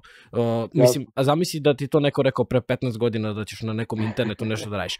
E, upravo ja. to, nasmejao bi se bio. Da. Tako isto ja. i sa ovim tranzicija o kojoj se priča i uh, to kao ma jok kao ne, uh, zatvorit će se radna mesta je potpuno laičko razmišljanje jer nikada se do sada u istoriji nije dogodilo da zbog modernizacije i zbog nečega što kad odeš korak Naravno. napred, ni, nis, ljudi nisu išli korak unazad, nego upravo kao što si ti rekao, to je standard, to je jedini način yeah. da ideš napred. I yes. iskreno ti kažem, ne znam koliko si uh, dugo već pričao o svemu ovome, deluješ mi jako smireno kada pričaš, a, a ovo su stvari koje koje su jedna od naj, najozbiljnijih tema uh, koje mi trenutno imamo. Jer ovo više nije yes. čak ni pitanje uh, našeg, tvog i mog života, ovo je pitanje života naše dece. Ovo je pitanje yes. života dece naše dece. Yes, yes, jer, jer mi Srbi možemo da se dičimo uh, i natom, da se dičimo, uh, da, da, da uvek pevamo, da dobro igramo, da se lepo hranimo, da, da uživamo u društvu, da smo gostoprimivi, ili tako? Sve to super, yes. ali ako nastavimo ovako, već smo 20 godina yes. zakasnili, ako nastavimo ovako, neće biti nekog da zaigra kolo za 30 godina, jer nećemo Slažim. biti u stanju da hodamo normalno. Slažem se upravo ovo sad što si rekao za PM čestice, Volio bih samo da, da li je ostalo neki prostor koji, nismo, koji nisi objasnio vezano za to šta tačno udišemo, pored tih PM čestica i gasova, da li ima još da. nešto što je u, u vazduhu? Pa, ima nekih tih sad i problematičnih situacija kod nas. Mislim, ima svačega. Kažem opet, da kvalitet vazduha je super, super složena oblast i nisu samo tu u pitanju PM čestice, nisu samo u pitanju ovih gasovi. Kod nas je i dalje ta priča o tim sekundarnim česticama malo zanemarena ja to pokušavam na neki način malo da promovišem, da ljudi shvate da nije bitno samo da li emituješ čestice, nego i da li emituješ gasove iz kojih mogu da nastanu čestice. Taj proces u principu nije uniforman u toku godine. To isto ljude može da zbuni. Znači, proces te konverzije bolje radi u toku zime, kad je slabiji vetar, kad je oblačno, kad je velika relativna vlaga. I posebno, je, posebno doprinosi tome što su ti pikovi, znači kad imamo one nenormalne situacije sa preko 150, sa blizu 200, sa preko 200 e, koncentraciju PM-ova, u tim situacijama dobar deo PM-ova su uh, ti sekundarni PM-ovi. Tako da kad bismo mi te stavili filtere za sumporove okside, recimo na termoelektrane, verovatno ono što bismo uradili, bismo ošišali te pikove. Znači neko prosečno zagađenje ne bi možda toliko drastično palo, ali bi ti pikovi bili, uh, bili ošani. E sad, postoje druge te, ja se neka šalim malo, ti egzotični zagađivači, dioksini, furani, popsovi i tako dalje. Sad isto ja ne, ne, ne razumem se baš u tu njihovu paletu svega toga, ali ima toga, pod, podugačak je spisak šta sve postoji i neki od njih ne mogu tako rutinski da se mere kao što merimo sve ove uh, o kojima najčešće pričamo i, i problem emisije takvih su najčešće neki, neke problematične situacije, kao situacija koja je bila letos kad je gorila deponija u Vinči. Znači, kad gori deponije u Vinči, onda se ne emituju samo PM čestice i sumporovi oksidi, nego se o, emituje cela paleta tih zagađivača koji u hiljaditim delovima ovih koncentracija kojima sad pričamo mogu da imaju gore uh, gori utjecaj na zdravlje nego što mogu da imaju PM čestice. Znači, mnogo, mnogo, mnogo manje njihove koncentracije mogu da imaju pogubniji uticaj na zdravlje nego što imaju PM čestice. A oni se, na primer, ne mere se rutinski, I onda čak u situaciji kad je sad gorila Vinča preko leta, ne da samo, uh, mislim, skandalozno je što ljudi nisu bili obavešteni da je zbog gorenja deponije potencijalno vazduh opasan i da treba da se izveštava kuda se kreće taj oblak, koje nasilja su najviše pogođena, da se zatvore prozori i tako dalje. potrebno je bilo i da se izađe sa nekom mobilnom mernom stanicom i to postoji i to nije ništa sad neka tehnologija slanja ljudi na Mars, znači ne mora čovjek da bude Elon Musk da bi se bavio, da se iznese mobilna stanica i da se urade merenja tih uh, egzotičnih stvari u vazduhu. Pošto da, njihova merenja su malo drugačija, ali trebalo su da se uzmu neki uzorci ili šta već, kako, da, kako se to već radi, i da se uradi neka analiza, jednostavno da se zna koliko čega je bilo u vazduhu što je opasno. Zato što kad gori deponija, ništa, pogledajte vašu mesečnu kantu za đubre, samo nekom prođe kroz glavu šta ste sve bacili u kantu za đubre i u kontener, to je sve gorelo. Znači, gorele su sve moguće kućne hemikalije koje nisu dobrodošle. Gorele su potencijalno lekovi koji se isto kod nas bacaju najčešće na deponiju, koji isto mogu da imaju hiljadu stvari u sebi koje su, ko, koje su opasne. Gorele su razne vrste plastika, neke plastike mogu da budu isto vrlo opasne. Goreli su ono sve i organsko e, i organsko i neorgansko. Još nešto mi je ne, nešto mi je palo od tih gadosti na pamet. Sad, sad mi je sad mi je preletelo kroz, kroz glavu ne veze boje, lepkovi, čuda, znači sve ono što u kući čak i ako ima malo na kraju u toj nekoj kantici ili bočici, toga sve ima na deponiji, sve je to gorelo. Znači to je bukvalno kao da čovjek ono, da se zapali kontener, da se nabije glavu u kontener. To ne može niko da vam kaže da od toga nećete imati neke posledice i da se nećete otrovati. Znači to je, to je gorenje na deponiji i te stvari se u principu ne mere rutinski, o njima se zna da su neke od njih vrlo opasne po zdravlje, ali njihova dinamika, da kažem, pošto to nisu standardne situacije, njihova dinamika je nepoznata, a i u ovakvim situacijama kad se recimo to zapali deponija, kod nas ne postoji taj sistem koji će da isprati šta je sve emitovano, gde je to otišlo, gde je to možda deponovano u zemlju, može se desiti da neke te stvari kad kad su veliki ti hemijski e, nastanu e, akcidenti, onda, na primjer, mogu neke stvari da se deponuju u zemlju, onda je jedna od mera da se skine taj površinski sloj zemlje, da, da te, ti zagađivači ne bi ostali za uvek deponovani ili jako dugo da ne bi ostali deponovani u zemlji. To je kod nas, na primjer, sve preskočeno. Po meni je to opet na neki način, ne na neki, nego je vrlo neodgovorno i guranje problema po tepih. Znači ti jednostavno nemaš sistem koji ti omogućava da u tako e, ekstremnoj situaciji imaš neku vrstu odgovora da koliko toliko umanjiš negativne efekte sve toga, nego se zatvore oči, zapuše uši i čeka se da, da to što pre prođe i onda ako krene neka frka u medijima, onda prvo što radimo, što je isto standardna priča, ono oko ekologije najčešće prvo negiramo problem. Nije to, nije tačno, ne gori, ne dimi se, onda kad svi vide snimak da se dimi da gori, gori, ali nemoj da brinete, evo, staje vatra, nije to ništa, to da gori zadnjih 5 minuta, onda kad, kad gori 3 dana, nemoj da brinete, evo, stigle su ekipe, sad će ekipe, to dve, znači svo vreme se pokušava umesto da se sanira problem i da se odgovori na njega, svo vreme se ide u to poricanje bilo koje činjenice, ono dok na kraju ono ne pukne tikva dok svi ne ukapiraju o čemu se radi ono. I onda kad pukne tikva naravno onda je i prošlo je vreme i to onda više to što je moglo da suradi više ne može da suradi i tako dalje. Tako da taj odnos poricanja svih tih činjenica i ovaj zanemarivanja tih činjenica je u stvari pod, podjednako loše kao i samo zagađenje. To je isto vrsta nekog kako kažem, nečinjenje isto neko, neka vrsta zagađenja, da kažem. Da, da, kada bi se uložio trud da se sanira problem kao što se saniraju istine, to bi bilo, to bi bilo mnogo, mnogo bolje. Pogotovo što mi, ono, mi živimo, jednostavno, prosto to je kao svima jasno, mi živimo u zemlji gde skandali se, skandali se koriste da se ne bi pričalo o istini, da se ne bi pričalo o ovim stvarima. Mislim da je a, s jedne strane sramota, a sa druge strane očigledno da, da, da tako vreme je došlo, a to je da ti imaš priliku da u nekom podcastu pričaš ovako otvoreno, bez ikakvog ustručavanja i bilo čega, da, da. a da nemaš, e, da nemaš prostor na nekim televizijama gde, ovaj, gde zapravo osnovane su televizije da bi se informisao. Mi imamo informativne programe koji, se, koji su sve samo nisu više informativni programi. Da. Znaš, ali, ok, došlo je tako vreme gde su se zapravo da. podcasti su popunili da. tu prazninu. Da, jeste, to je tačno. Na televizijama obično nema vremena da se priča ovako dugo o tome. Televizija nije da, televiziju e, po meni sve televizije pomalo prelaze, ne baš sad sve da kažem, ali jedan dobar deo televizija, pomalo prelazi da kažem na stranu ovih zahtevača rešenja problema.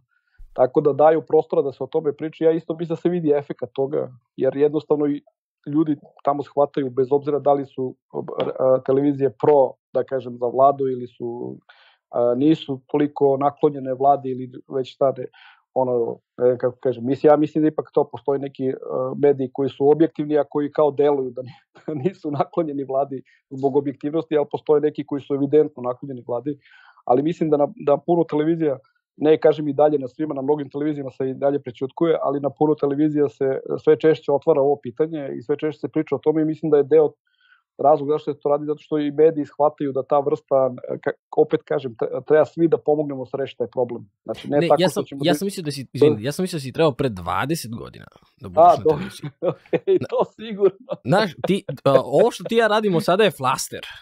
Znaš, mi sad stavljamo flaster na jednu ranu koja je velika, a mi imamo mali flaster.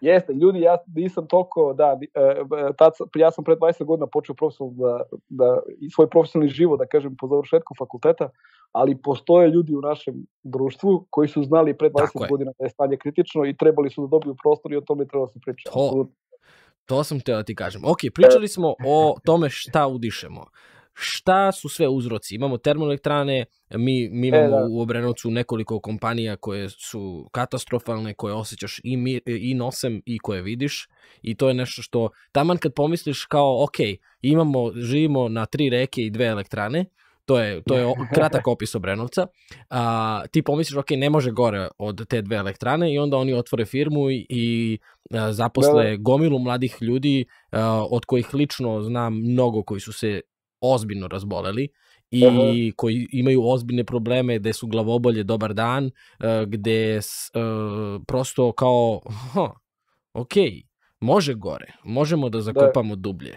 Znaš, i koliko god bili optimistični na početku ovog razgovora, opet moramo biti realni, jer ja da, da nisam iz Obrenovca, ja ne bih znao neke stvari, ali da, da, prosto ako ja izađem i šetam ceo svoj život od, od moje kuće do reke i ta, ta, ta putanja je kroz šumu, kroz zabran, Obrenovčani moji znaju, uh -huh. i ako ja u poslednje tri godine šetam tim zabranom i osjećam miris metala, osjećam smrad koji je nepodnošljiv, jer se otvorila ta neka kompanija koja je, da. te, nas je kao stavila u neku poziciju wow, a sa druge strane smo toliko oslabili i toliko nestajemo kao društvo i kao, kao grad i onda kao mora da staviš prst na čelo i kažeš čekaj bre ljudi, pa ne, pa, da. nismo mi, ni, nisi ovca čoveče. Šta, je, šta su sve uzroci pored elektrana da. i... Da, prvo znam ja gde je zabrano u Brenovcu, tako mm -hmm. a pod dva, ovaj, E, e, to sad o čemu pričaš, ja kad se šetam tamo, jedna od stvari ljudi koji dođu iz inostranstva, da kažem, obi, i obično iz tog zapadnog dela, recimo Evrope ili iz Amerike, i posebno u toku zimskih meseci, često je jedan od prvih utisaka da nešto smrdi u vazduhu. Jer čovjek tek kad izađe odavde, pa kad se vrati nazad, posebno u toku zime, bukvalno ukapira šta se dešava. Neki put se vidi iz aviona kad se sleće na pistu vidi se ta sivkasto zelenkasta palačinka koja stoji preko, preko Beograda koja je zagađenje vazduha. Tako da to je, to je lak način da čovek vidi taj, uh, pošto kad si stalno ovde, onda malo se, da kažemo, ono, navikneš se i uguglaš na, na celu priču. Šta su uzroci? Ja sam sad najviše pričao o termoelektranama i velikim industrijskim postrojenjima. U, u našoj zemlji relativno, ne relativno skoro, nego tokom ove godine urađena jedna studija i ta, ta studija je finansirana od strane Europske unije kroz takozvane IPA fondove. E, korisnik studije je Ministarstvo zaštitne sredine, a tim istraživača koje su radili je međunarodni tim. I oni su izradili dokument koji se zove Program zaštite vazduha u Republici Srbiji. To od 2035. godine. Prevedeno, to je strategija za poboljšanje kvaliteta vazduha. Između ostalog, ta studija se bavi time ne, ne bavi s time, nego koristi odgovarajuću metodologiju koja se koristi u celoj Europskoj uniji, kako se raspodeljuju ti izvori zagađivača i koji je doprinos kojih izvora kojim zagađujućih materijama. Jedan od brojeva koji je procenjen u studiji jeste taj broj prevremenih smrti kod nas.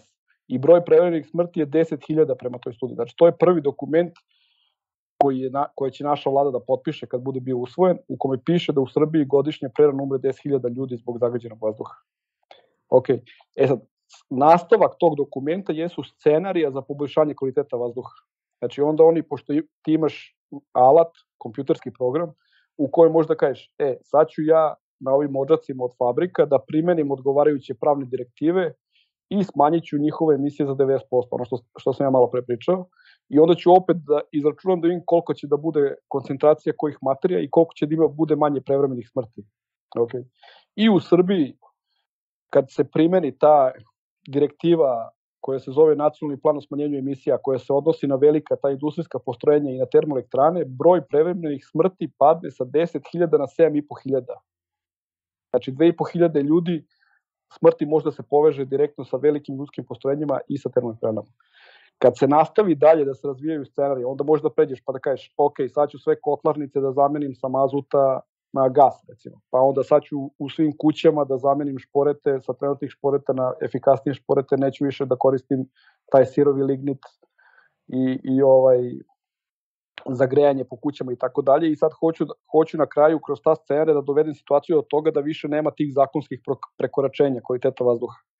Kad se sad sve to dalje, da kažem, implementira, sve ostalo, na kraju, ako mi budemo imali kvalitetan vazduh po zakonu, u Srbiji će oko između 4 i 5 hiljada ljudi da umire godišnje zbog zagađenog vazduha. Znači, to je broj koji prema našoj posle opet pričamo o tim zakonskim regulativama, pa će ljudima bude jasnije.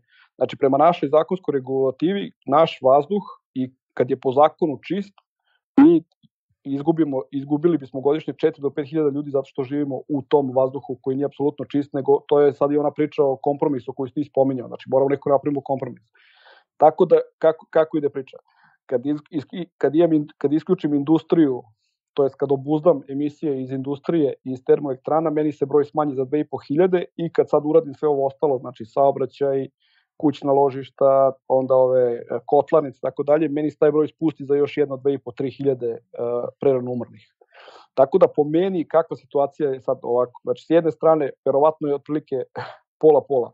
S jedne strane su velika industrijska postrojenja i ovaj uh, termoelektrane, to je jedan veliki teg, i drugi veliki tek su ta kućna individualna ložišta u koje mora da se uključe, to obično nisu samo to po kućama što ljudi imaju od grenih tela i šta u kućama pale, nego u to trebaju uključiti i te male toplane koje služe za grejanje raznih javnih e, institucija, kao što su škole, vrtići, bolnice, javne institucije, opštine i tako dalje.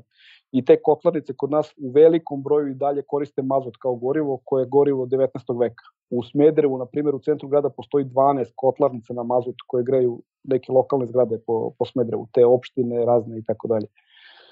E, tako da, znači, imamo s jedne strane uh, veliki teg su industrijska postrojenja, drugi veliki tek koji je podjednako težak su individualno ložišta sa tim kotlarnicama i lokalnim sistemima za grejanje i treći teg koji nije tako veliki je verovatno povezan sa saobraćajem, sa nekim specifičnim industrijama, sa poljoprivredom i sa još nekim malim ovim e, stvarima. E sad, da bismo brzo napredovali, dobro imati plan. E sad, šta ja pričam i što ja volim da se fokusiram na velike? Veliki zagađivači, to je najviše 20 odžaka po znacima navoda u Srbiji. Znači, ima ih malo i lako ih je locirati, imaju visoke odžake i nema ih puno. Kotlarnice i pojedinačne pojedinačni izvori zagađenja, individualna ložišta, ima ih mnogo, ima ih stotine hiljada i raštrkani su i dalje nemamo inventar koliko se ljudi našta greje, kako kupuje, gde su kotlarice i tako dalje. Ako mogu trećinu, pa i više od trećine problema, da rešim na 20 ođaka u periodu od 3-4 godine, pa naravno da ću to prvo da, da grunem i da malo stvari koliko toliko spustim u normalu i da ljudima dam neku nadu, e vidi, popravlja se vazduh, nije sve gore i gore, nego je bolje bolje a podjednaku energiju, samo što će da traje mnogo duže, ću da uložim u to što su ta individualna ložišta o kojima se često priča. Znači kako sad po kućama da ljudima pomognemo da povećaju energetsku efikasnost, da bi trošili manje goriva, da, da im pomognemo da zamene šporete i grejna tela, da im pomognemo da imaju kvalitetno gorivo na početku grejne sezone koje mogu da kupe, da onda sva taj, te kotlarnice koje postoje po gradovima da se zamene na gasne kotlarnice što je mnogo efikasnije. Onda u nekim gradovima postoje problemi isto i sa tom opet zastaralo malo industrijom. Ima recimo u nekim gradovima nije fabrika toliko velika ali troši puno uglja, kao što je recimo u Valjevu ovaj Krušik.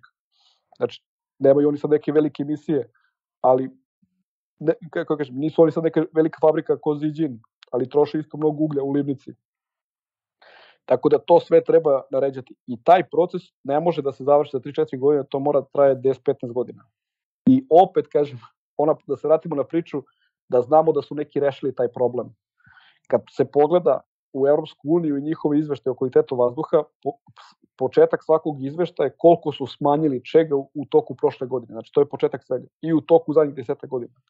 I kad vidimo gde su ostvarili najveće uspehe i gde su najbrže smanjivali emisije, smanjivali su baš na tim velikim postrojenjima i na odgovarajućim gasovima i to je ona priča da su, spu, da su spušteni recimo azotni oksidi su spušteni za 70%, a sumporovi oksidi su spušteni za 90%, a PM česte su isto spuštene na velikim postrojenjima za, za opet par desetina procenata. Znači, zato što na, na malom broju lokacija ti imaš velike emisije gde možeš da intervenišeš i da odmah velike, napraviš velike promene, da puno spuštaš. A kad gledaš, na primjer, to rezidencijalno grejanje, to su ova mala kućna ložišta i, i kotlarnice, i tu oni imaju svake godine, isto imaju uh, uh, merljiv napredak, ali nije u tom smislu napredak. Znači, posle 10-15 godina oni su smanjili emisije, recimo, PM-ova iz individualnih ložišta smanjili su za 15 procenata. Znači nisu uspeli da obore za 90%, što znači da je to teško. Na primjer, povećanje energetske efikasnosti na domaćinstvima, to je jedna verovatno najkompleksnijih tih mera e, strukturnih. Znači, vrlo je teško da sad ti, znači, treba da imaš radnike koji će da menjaju izolaciju, koji će da menjaju stolariju, treba da imaš te stolarije da ljudi mogu da kupe, treba da imaš programe subvencija, znači da ljudi mogu da apliciraju za to, da dobiju pare, I, I to treba da uradiš ne na jednom mestu, nego na 200-300 hiljada mesta. I zbog toga ja često opet kažem taj, ta, dva, ta dva velika tega, znači industrija i termoelektrane i ovaj teg koji ćemo zovemo individualno ložišta, ja uvek stavljam malo veću težinu na ove, na ove velike, zato što je to je mesto gde ti možeš, da kažem, ono, dobrom taktikom za par godina da napraviš veliki iskorak. I opet onda kad se gledaju analize nekih studija, kažem opet, gađanje tih velikih i tih e, gasnih emisija će da se odrazi u tome da nemamo više ova, e, ovaj haos da PM čestice odu na, na 300, na 250, na 200, zato što u toj situaciji kad su PM čestice tako visoke, dobar deo tih čestica su te sekundarne, koje su nastale iz gasova, a nisu uopšte emitovane i potiču verovatno negde od industrije. I drugo, to isto ljudi kako kažem, ne, to je zato što ne razumeju kak, kakva je dinamika atmosfere. Znači, nije ođak u Obrenovcu, nije to sad kao dim od cigare koji ono krivuda pa pređe preko nekog grada. Znači, to je bukvalno kao da, da imate kadu u kojoj na jednom, na jednom mestu usipate boju, a onda neko kutlačom ovako meša tu boju. I, i, I onda vi u kadi neće da imate tu boju kao neku glistu koja se provlači kroz vodu, nego će cela voda da postane relativno brzo plava. Ta kutlač u atmosferi se zove turbulencija. Prizemni sloj vazduha, osnovna karakteristika njegove je turbulentno, znači da se dobro meša, stalno i u nekim vrtlozima, kovitlacima. I onda, znači, vi kad imate jedan očak u Brenovcu koji emituje ogromne količine nečega, ta turbulencija u stvari razvodnjava taj sumpor dioksid lepo po velikoj površini koja je verovatno u prečniku nekoliko desetina kilometara i onda uveče kad zađe sunce i kad se taj, mi zovemo to planetni inače sloj, kad se spusti i kad poraste vlaga u tom sloju, onda jedan put krenu da kuljaju svi ti sekundarni pemovi i onda jedan put skoče koncentracije na 150, na 200 i tako dalje. Tako da zbog toga, kažem, opet priča o tome ko je najveći je važna i verovatno, kažem, u smislu veličine se vodi mrtva trka između velikih industrijskih postrojenja termoelektrana i s druge strane ovog što su individualno ložišta, ali to nije kraj te priče. Priča o velikim i malim treba da bude isto usmjerena na to gde možemo da intervenišemo brzo sa vidljivim rezultatima. Jer ljudi hoće da vide da se stvari popravljaju. Ja hoću da vidim, na primjer, kako bi se to uradilo, onda bi za 3-4 godine ne bismo imali u Beogradu 120 dana sa prekoračenjima, nego bismo možda imali 90 ili 70 dana. To i dalje nije dobro, naravno, ali je bolje nego ovo što sad imamo. E sad, samo se vratim na trenutak na ono što sam rekao, naš zakonski čist vazduh e, dovodi do 4 do 5 hiljada prekomenih smrti u Srbiji po studiji Rep vlade Republike Srbije. Naše granice za to što je zakonski dozvoljeno postaju sve udaljeniji od onoga što je standard svetske zdravstvene organizacije. Ove godine standard svetske zdravstvene organizacije pojačao svoje standarde u smislu što oni misle da je sigurno. I njihovi standardi su sad i prilično stroži od standarda Europske unije. Tako da prvo, znači imamo Srbija, pa Evropska unija sa standardima i onda je ovde Svetska zdravstvena organizacija.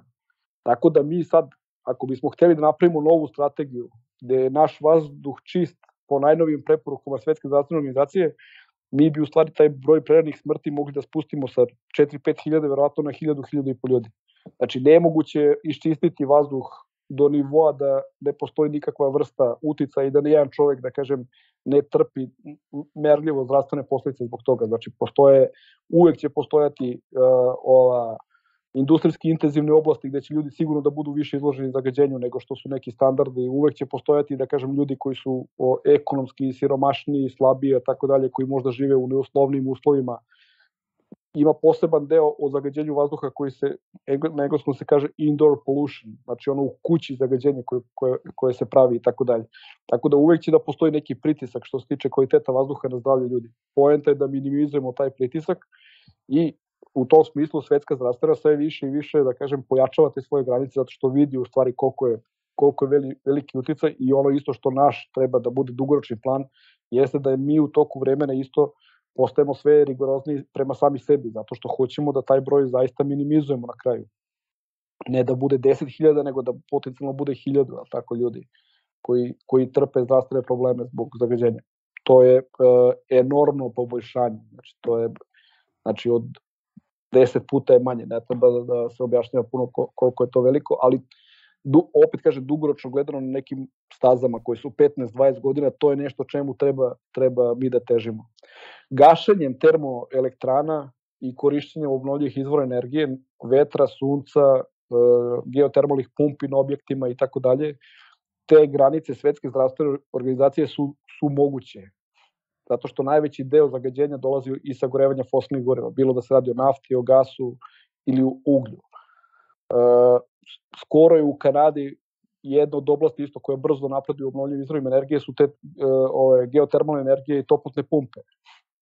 Paradoksalno je da se tehnologija unapređenja toplotnih pumpi razvila na osnovu frekinga koji se koristi za e, izvlačenje nafte iz uljanih škriljaca. Znači to je sistem horizontalnog bušenja zemlje da biste vi došli do nečega što je polu nafte i na kraju toga napra napravi naftu. Tako da u Kanadi su uspeli ceo jedan gradić da naprave toplotnu pumpu za grejanje celog jednog gradića. U tom gradiću više nije potrebno da imaš pored, da imaš, e, ne znam, nije kotao, da bilo šta goriš, ni biomasu, ni drvo, jednostavno malte ne ceo gradić se greje na jednu jedinu toplotnu pumpu. To je nešto što je budućnost. To je kad, kad bi bila kad bi postojali ozbiljni planovi ovde, mi bismo pronašli gradić u Srbiji koji bismo mogli da testiramo da ga grejemo na toplotnu pumpu. I to je put. U, u situaciji gde mi rešavamo klimatske promene tako što izbacujemo sva fosilna goriva, kvalitet vazduha će da bude svuda u toj u tim granicama koje Svetska zdravstvena organizacija smatra smatra sigurnim granicama. To, će, to, to je, mislim, ne znam šta je šta, ali po meni rešavanje klima, nus produkt rešavanja klimatskih promjena koji ima veliku težinu jeste drastično poboljšanje kvaliteta vazduha, jer 90% zagađenja u stvari dolazi od sagorevanja uglja, nafte i gasa. To je glavni izvor uh, ubedljivo zagađenje. Postoje ovi sad akcidenti kad gore neke fabrike ili gore deponija kod nas ili ne znam nije šta i postoji zagađenje koje se podiže sa poljoprivrednih njiva, ima tu sad isto raznih priča, ali kažem, sa, sagorevanje fosilnih goriva, jedan put kad izbacimo iz upotrebe fosilnih gor, fosilna goriva, to je moguće, kvalitet vazduha će drastično da se popravi, znači to će bude onda živi bili pa videli, ali ljudi će da kažu u jednom trenutku da li je moguće da smo živeli u, u ome, a da smo mogli da uradimo ovo pre 30 godina. O, da, siguran sam da će za 50 godina da će ljudi smatrati kao Da li, kao što mi sad posmatramo drugi svetski rat i kao da li je moguće da su ljudi toliko ratovali, toliko ljudi izginulo, e, tako će verovatno isto ljudi misliti kao da li je moguće da su ovi ljudi kao čutali u tome i da su tako da. živeli, da su na to pristajali. Ali sa druge strane slušam te kao neki mali gradić u Kanadi, uh, zameniti uh, sve to po kućama i tako dalje, a onda uh, moji kumovi koji žive preko puta elektrane, preko puta da. elektrane, uh, da. mogu bukvalno da, da prepešačiš za manje od minut i da budeš ispred elektrane. Ne, ne greju se preko, nemaju, nemaju grenje preko elektrane.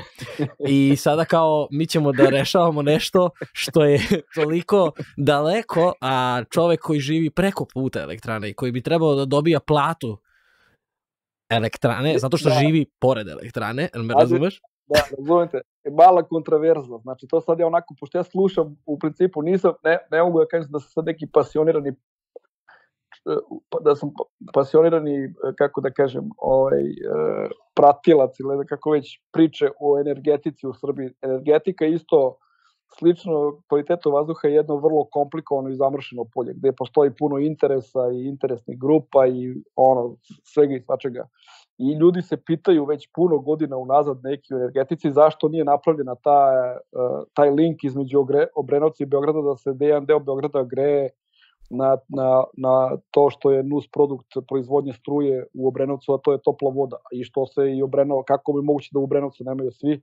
I sad nešto sve onako načuo, sad ja ovo pričam na nivou trača, tako da o, to je onaj deo da, da ću da, pot, da potpišem da sve da istinu nije odrađujem sad, ovo je trač ali kaže da postoje interesne grupe kojima nije u interesu da, da mi koristimo taj nus produkt toplu vodu da bismo se grejali, da bismo uvozili više gasa koji ćemo da koristimo za grejanje po gradovima, pošto neke ove toplane u Beogradu uglavnom koriste gas. Tako da kad bi mi dovukli tu toplu vodu recimo u Beograd ili bi razvukli tamo po Brenovcu, onda bi manje e, uvozili gasa i u Beogradu bi el tako proizvod, grejanje smanjila bi se potreba za gasom da bismo se grejali preko zime i onda bi neko manje imao manji uvoz gasa da kažem i onda bi neko opet izgubio neku vrstu profita. U Obrenovcu možda razmišljaš što bi sad grejali ljude kad mogu od nas da kupe struje, možemo da im prodamo i malo ugalj da se greju na ugalj. Tako. Tako kažem, energetika je vrlo komplikovana, neće da ulazimo sad u te njihove šeme i da, da, ovaj, da pričamo razne teorije, pošto, pošto se ja u to dobro ne razumem, a mislim da je toliko komplikovano da ni oni često ne znaju ko šta radi i ko kakvi interes ima, ali deluje vrlo nelogično to što kažeš i mislim da ta nelogičnost opet dolazi iz nečega što je javašluk, neodgovornost, nemarnost, nebriga, ne, nezainteresovanost i interes, verovatno možda usput tu postoji nečiji interes da neko kaže, e, nemoj da ih priključuješ, bolje da mi njima možda nešto prodamo ili da ih na neki način, da kažemo, očešemo finansijski, tako ćemo možda mi kod nas da imamo malo veću svotu novca nego što sad imamo. To se vrlo često dešava, energetika je jedna od industrija globalno, industrija ekstrakcije fosilnih goriva i energetska industrija, to je najveća industrija koja postoji i koja ima najveću, koja operiše s najvećim sumama novca, i tu je, kako kažem, vrlo često to što su finansijski interesi je presudna stvar u cele priče. U klimatskim promjenama to je jedan na jedan. Znači razlog što se klimatske promjene ne rešavaju, osnovni razlog je zato što industrija ekstrakcije fosilnih goriva je toliko finansijski moćna da, da će oni zaovek pokušavati da ljude drže u nekom stanju zbunjenosti da bi se samo odložila akcija. Oni su svesni da će u jednom trenutku morati to da, da sve prestane, ali kao ajde ako možemo da još pet godina da da crpimo i da zaradimo još da stavimo u, u svoje džepove i u banke, da stavimo još određenu svotu novca, pa onda kad budu svi ukapirali o čemu se radi, onda ćemo da rešamo taj plan. Tako da je to isto jedna, jedna čestih priča, znači da ti u stvari to što je tvoja akcija, ja kažem isto, na početku sam rekao, uh, problem kvaliteta vazduha u Srbiji je rešiv, što je optimizam, ali druga važna stvar je da kod nas je trenutno pitanje, nije pitanje, mi ćemo da imamo čist vazduh u budućnosti 100%, samo je pitanje da li će da ga imamo za 30 godina ili za 15 godina. E, to je pitanje. Znači, mi nećemo moći da ostanemo, da živimo do, zauvek u kontejneru.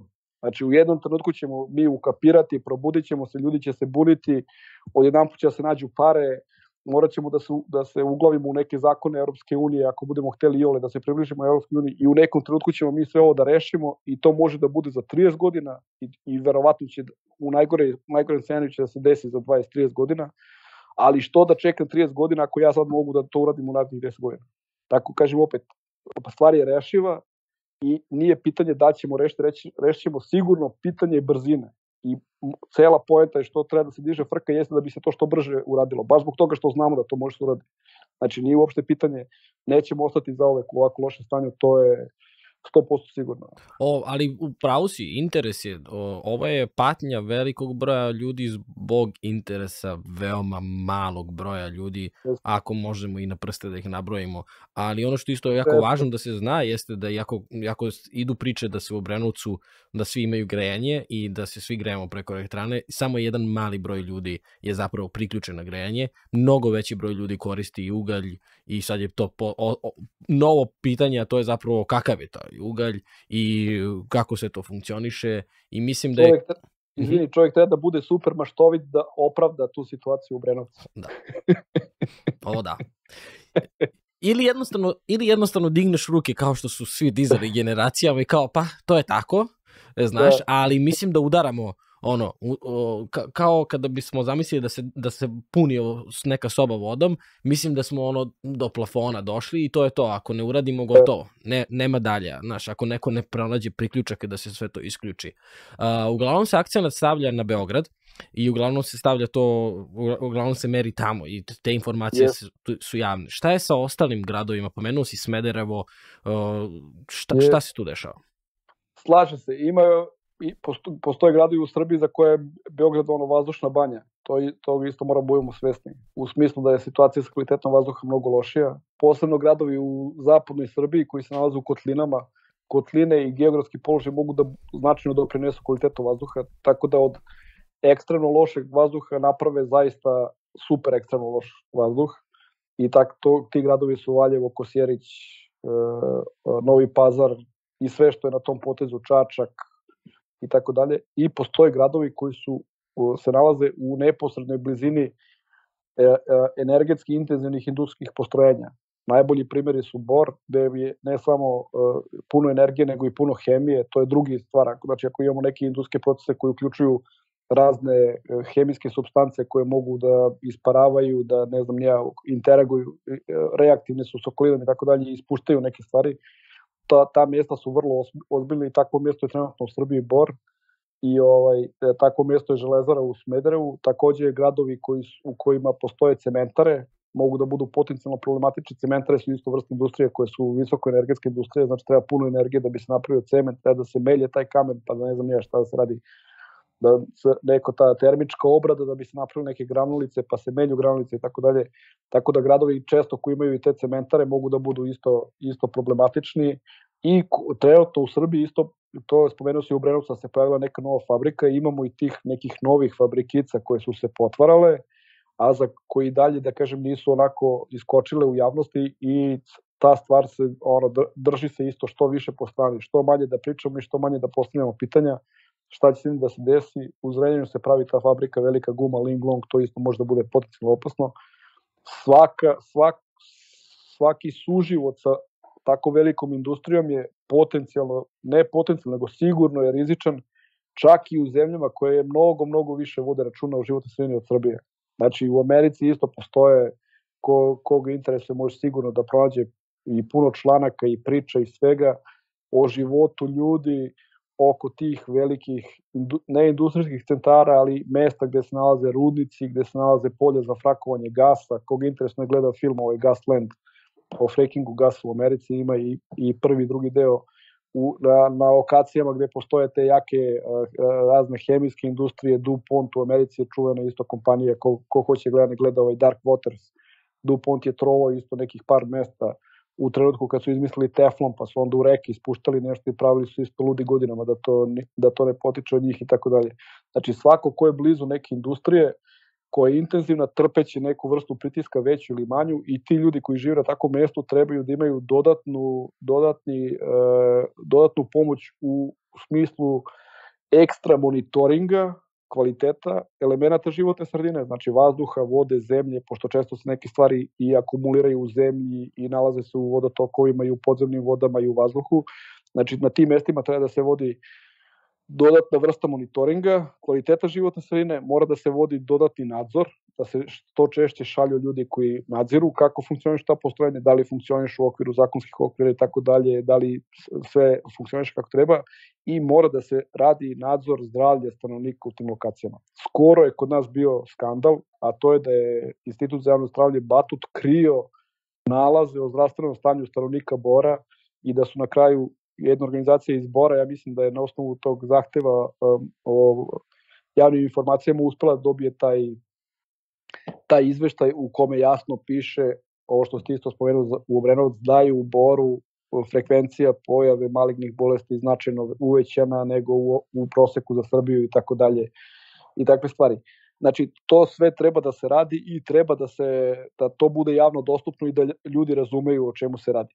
Ja isto kažem, znači ljudi u Boru žive od tog rudnika, primaju platu i tako dalje. Čovek može da pristane da hoće da živi u takvom gradu ili ode da radi u takav grad zato što je, kako kažem, prihvati deo rizika da će potencijalno da bude izložen nečemu. Znači nije, kako kažem, nemoguće je sad napraviti najčist, da, da, da živimo u ono, onim čistim so, potpuno čistim sobama, potpuno čistom okruženju. Znači jednostavno jedan nivo da kažem, zagađenja i uticaja na naše zdravlje i okolinu mora da postoje. Jed, tak, tako smo, visoko smo industrializovano društvo, ono, vladali smo sa mnogo tehnologije, tako to je opet sad neka dugoročna priča, možda pričamo o tome, da li ljudi sad treba nekako da, da smanjuju taj svoj, svoju želju za tim tehnološkim ludilom ili ne treba da smanjuju, ali nema veze, ali u ovom trenutku je tako, pričamo malo o tim kraćim skalama, nećemo sad o deset, des, decenijama i vekovima unapred. Ali ovaj, i, i ta vrsta rizika se prihvata na neki način, ali ljudi mora da budu informisani koji, koji nivo rizika oni prihvataju. Znači, da li je to nivo rizika da imaš duplu veću šansu da ćeš da dobiješ neko maligno oboljenje ili imaš 100% ćeš da dobiješ maligno oboljenje. Ili možda imaš 20% veću šansu. I ljudima treba da se pruži šansa da oni koji, da kažem, neće da žive u vizično, visoko rizičnim oblastima, da tu ne žive. Tako. Znači da, da, da imaju na neki način da im se pruži mogućnost da kažu, e, ja neću ovde živim, hoću pronađem posao u drugom gradu i da onda i kad pronađu posao da mogu na, neko, na, na neki način da, da se ocele odatle i tako dalje. Znači svako za sebe procenjuje rizik koji hoće, koji, koji hoće da trpi. Naravno, osnovna stvar je da se svaki industrijski proces dovede do nivoa najmanjeg mogućeg uticaja na životnu sredinu.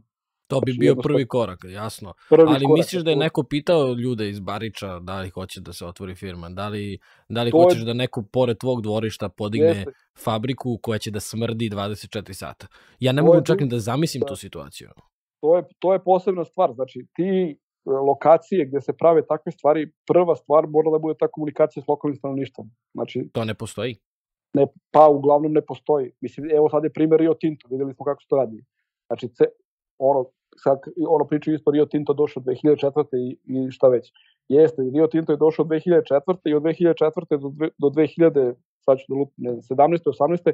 Jedino što se moglo da se pročita o Rio Tinto jesu njihovi PR tekstovi u medijima. Znači, znamo šta su PR tekstovi. Oni plate članak, da izađe članak u Blicu, kako je pronađen kriptonit u Jadru i kako ćemo mi sada da budemo svi u Srbiji supermeni, zato što je, znači, niko nije znao, nikad se, niko, niko nije, nije pričao Pa jeste, to su bili ti članci iz 2016. godine. Ne, ne, znači, o Supermeni ćemo svi da budemo, da, da, da. mi, mi ćemo jači od Supermena, pošto je ono, Supermenu smeta, valjda, kriptonita. Mi ćemo sad da imamo um, oružje protiv Supermena.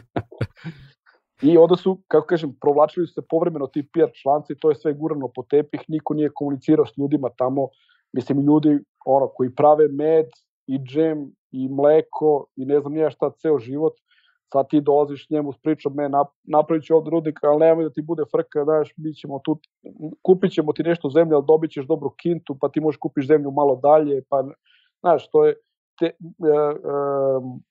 rudarske kompanije posebno, ako nešto zna, znaju, znaju kako se prilazi lokalnom stanovništvu, zato što sto, sto puta radilo. Znači, kako da priđeš lo, lokalnom stanovništvu da napraviš što manje talasa na površini vode. O, da, o, da, pa ka, sećam se kad se otvarala ta fabrika, to su bile kao, mi to radimo za vas, mi, mi ćemo da. vama da, i ti onda odjednom imaš potpuno ono, kao, ne znam, prosto, ajde, neću, da, kao što sam ti rekao na samom početku, jako mi je teško da, da jer sam emotivan sam zato što su to, to je moja porodica, to su moji prijatelji i da. prosto znam šta je. Znaš, ne, ne da. moram da pročitam u novinama, bilo dovoljno da otvorim prozor. Znaš, evo, sad sam, sad sam igrom slučaja u, u poslednjih šest meseci sam van grada, ali pre, prethodnih 27 godina, tačno, sam, sam, yeah. sam živeo tamo i znam šta je. A, a isto jedna zanimljiva činjenica za koju smatram da mnogo ljudi ne zna, trebalo bi da zna, jeste da Obrenovac ima jedno od najzdravijih banja u Evropi. I jedini uh mhm. -huh. razlog zašto ne možemo da dobijemo uh, poziciju banje jeste zato što je tamo neko pre, pre nekoliko desetina godina odlučio da napravi elektrane i, i potpuno, potpuno uruši celu. Ali inače, lokacija Obrenovca, sad kad pomisliš, evo, sad imaš koliko porodica koje žive od elektrane. Zamisli da, da je banja, zamisli da imaš hotele, da imaš uh, uh, za izdavanje, da pored Beograda, pola sata od Beograda, to je da. idealna lokacija za koju da. samo nam treba, kao što ti kažeš, ne, nedostaje plan, ja mislim da čak i nedostaje neko kome je stalo. Mislim da, da više nije pitanje uh, kao kada si toliko dugo, a mi imamo na našoj sceni ljude koji, koji donose odluke toliko dugo godina, ti više se ne baviš, nije, nije više pitanje naroda, nije pitanje interesa. Da, I to je ono, to je ono e, što je naša velika, velika kočnica. I dogod se mi sada hvalimo, e, podigli smo ekonomski utice, e, naš PDP, e, ja sam završio bankarstvo i to, ja znam, to su, to su To su gluposti. Dobro. Ne možeš ti da imaš ekonomsku jaku državu i fabrike kancera i da ti ljudi umiru. Ka, ka, o kakvoj mi ekonomiji pričamo kada, kada nema više Uh, kad ne, neće biti dece, neće biti, e, me razumeš kao, če, čeme se mi hvalimo? Yes. I da, onda da kada... ne pričamo sad ono, to je ekonomija, eksploatacija, ekonomija znanja i ekonomija i takvih stvari. On. Znači jedno je, ako ti baziraš ekonomiju na iscrpljivanju prirodnih resursa, to je jedna priča u odnosu da ti baziraš svoju ekonomiju na tome što imaš puno pametnih ljudi koji možeš da uradi puno A to je tek tema. A to je A tek to je tema. Tek posebno, tema da. Znači, ali da se vratimo... to, su, na... to su strategijske dugoročne odluke koje isto kod nas uvek izostaju. Znači mi nikad nemamo taj strategijski pravac, nego onako trčimo ko klinci kad igraju futbol, pa tamo gde lopta, svi su tamo. Da, da, da, bukvalno. da, da, Sad kad si rekao strategijski, morat ću da stavim onaj pip, zato što to kod nas nije, nije, nije poznata reč, pa neću da mislim da neko psu, da psuješ ili da... mislim, kao strategije nema. Da. Ali ajde da se vratimo na vazduh. Uh, imam još par pitanja za tebe. Uh, prečišćivači, prečišćivači vazduh, prečišćivači, či, či vazduha, dešava se. Da, da li rade, da li su dobra stvar, da li treba pričati o tome? Pa, znaš šta, ja, ono, kako kažem, ja izbegavam posebno to u tim javnim nastupima da promovišem te, te stvari, zato što onda uvek ide ona kontra, aha, vidi ovaj priču o zagađenju vazduha da bi nam prodao ovaj filter da imamo kod kući da pre, prečišćavamo vazduh. Ali u principu ja sam za... Ovo ja tebe ja pitam privatno, ovo je sad nešto da, što ja, ja razmišljam da... Ja, da, ja lično i dalje nemam, na primjer, nisam, nisam kupio, razmišljam povremeno da kupim, ali nisam, evo, za sad kupio, iskreno nemam, ali svi ljudi koji imaju, ovaj, posebno koji imaju mlađu decu, bi po meni da. Znači, to je stvar koja ne može da odmogne, može samo da pomogne. Treba da se zna da e, te sprave uglavnom prečišćavaju ovo o čemu pričamo čestice, ali u nekim slučajima, kao što je gorenje vinče, tu ne pomaže ni taj prečišćivač, zato što gasovi koji su opasni i u koji su mnogo manjih, da kažem, prečnik molekule, mnogo manje nego bilo kakav filter, jednostavno kroz to prolazi. Tako da od vinče, u slučaju gorenja vinče, ako ste bili blizu vinče, mogli ste da imate koliko hoćete tih u stanu, ne, to, to vam neće pomoći.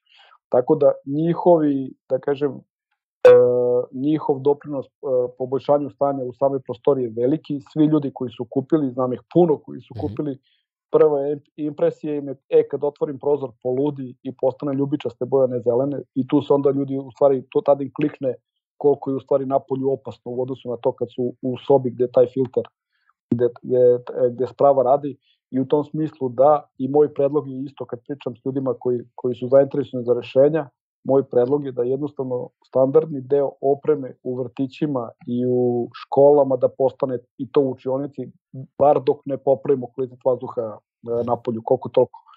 Zato što jedna priča zbog koje se isto često bunim su te kategorije kod nas i onda ima ona kategorija prihvatljivo koja mi najviše ide na živce, ima neka kategorija gde kao kakav je vazduh prihvatljiv i onda kad se pročita za kog je prihvatljiv, prihvatljiv je samo za ove koji su u, u punoj snazi a za stare, za ljude sa hroničnim bolestima i za decu može da bude rizičan.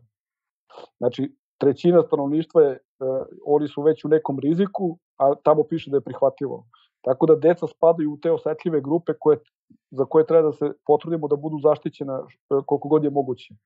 Ako deca u školi provodi, u vrtiću provode 8 sati, to je trećina dana, to isto nije malo zašto bar tu jednu trećinu dana kad su tamo i kad su unutra da ne, da ne udišu uh, uh, ovaj, da kažem zagađen vazduh nego da udišu čist vazduh jer ponovo cela priča je kumulativna znači ja mogu povremeno da se izložim nečemu i ta akumulacija će da mi napravi neku štetu, ali ako sam non stop izložen tome i ako non stop pravim tu akumulaciju, preću da doživim problem nego ako ne, ne doživim. Tako nije sad, ne moramo sad da svi, da deca odu u vrtić i da budu ceo dan u zatvorenoj prostoriji i da bi bili u, u čistom vazduhu gde radi prečišćivač mogu da izađu u toku dana na, napolje, tako, naravno da se igraju sat ili dva, ali kad se vrate unutra i ako unutra onda provedu 6 sati, bolje da, da udišu čist vazduh nego da udišu koliko toliko, ne, ne koliko toliko, nego mnogo čistiji vazduh nego da udišu ovaj vazduh koji je, koji je spoljni i koji nije čist. I u tom smislu ja bi to uveo kao me, meru da kažem, koja bi bila obavezna, ali kažemo opet, e, to što je prihvatljivo je već rizično za puno njih, a da ne pričamo o ovim ekstremnim uh, situacijama. Jedna ekstremna situacija koja isto po meni, da kažem,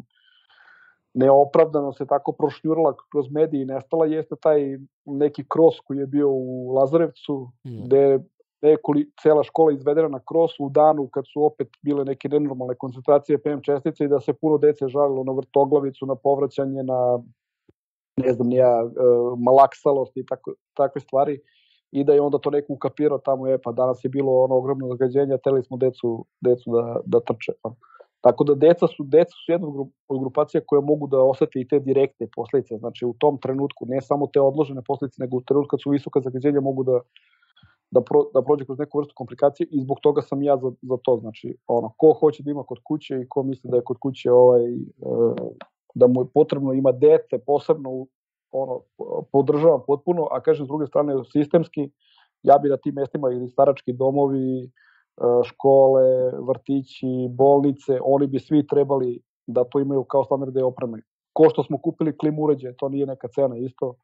Možemo to da imamo, pa nek, nek teramo još narednih ono, 5-6 godina, pa ajde da budemo srećni da kažemo da će za 5 godina 6 potencijalno stvari da se poprave, pa da nam više neće toliko trebati.